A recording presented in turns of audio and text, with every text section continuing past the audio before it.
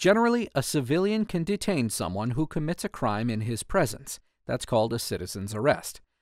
But what if the suspect flees or resists? Can the civilian use deadly force? The New Mexico Court of Appeals considered this issue in the 1997 case of State v. Johnson.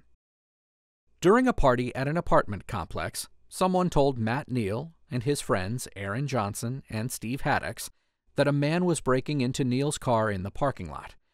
They went outside and saw a man carrying a car stereo while running from Neel's car and getting into a getaway car. Johnson and Haddox then fired their guns repeatedly at the getaway car as it drove off. Nearby police officers saw the speeding getaway car and stopped it, finding Abel Gallegos inside with a fatal gunshot wound. However, the officers didn't find any weapons. An investigation revealed that one of Johnson's bullets killed Gallegos and one of Haddox's bullets lodged into the getaway car. The state of New Mexico charged Johnson and Haddox with second degree murder.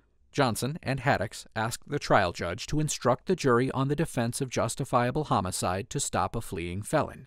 Specifically, they argued that private citizens are justified in using deadly force if necessary to stop a fleeing felon, even if the felony is nonviolent and the felon doesn't pose a threat. The judge disagreed and refused to give the requested jury instruction. Ultimately, Johnson and Haddox pleaded guilty to the lesser included offense of involuntary manslaughter but reserved the right to appeal the judge's ruling on the requested jury instruction. Both defendants appealed, but Haddox abandoned his appeal after oral arguments. Hence, only Johnson's case was fully appealed to the New Mexico Court of Appeals.